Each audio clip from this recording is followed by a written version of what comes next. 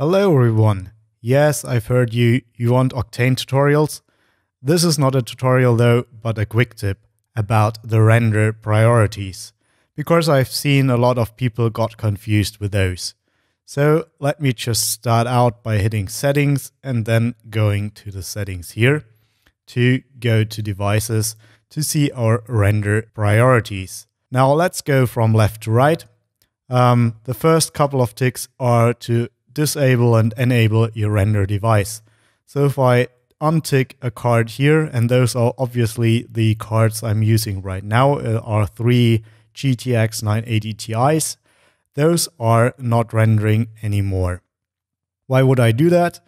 Right now, the two screens I'm using are connected to my GTX 980 Ti, and when I'm working with heavy scenes, I get a lag in my screen and I want to avoid that, so I turn off the card completely.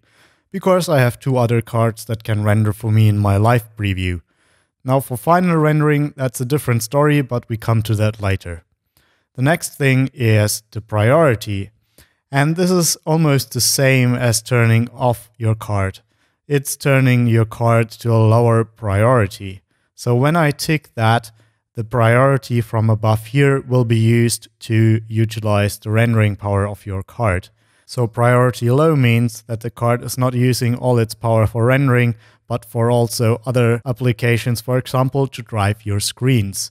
So you don't have to turn off your card per se, you can also use priority.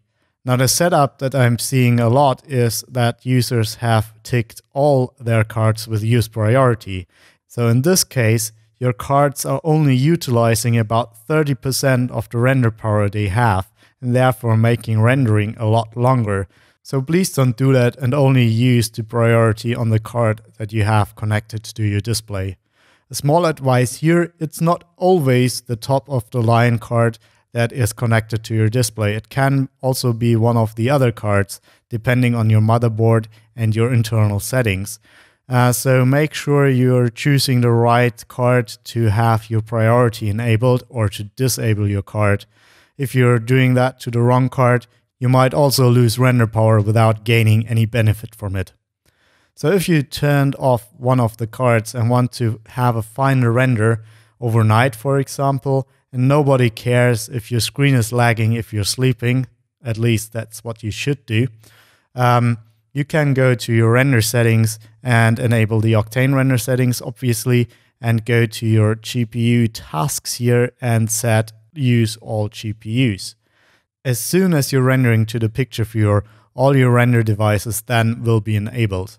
They will not be disabled again if you then continue to render in your live viewer, so you have to go back to the settings devices and disable them again.